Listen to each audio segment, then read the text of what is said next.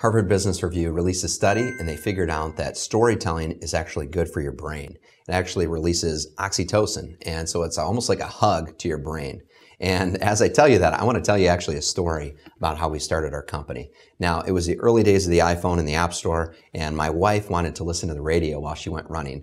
So she added on my honey-do list, you know, build an app. And it was behind, you know, mow the lawn, do the dishes, build an app.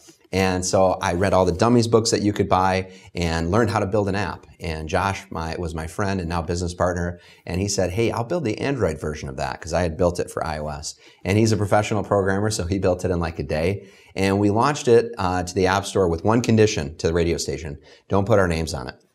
They did not listen to that and they put our names and personal cell phones on it. And they had about 100,000 weekly listeners. And so we started getting calls from all over the place.